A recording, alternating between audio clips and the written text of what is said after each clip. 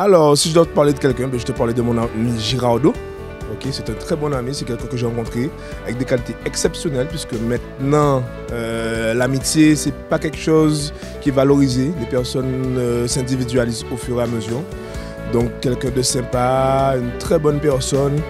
Si je dois définir les qualités, ça va être. Euh, il va me manquer les mots, en fait. Mais euh, si je dois mettre quelqu'un en avant, c'est lui. C'est la première personne que je mettre en avant. Après ma mère, bien évidemment. Donc là, c'est tout ce que je pourrais te dire là actuellement.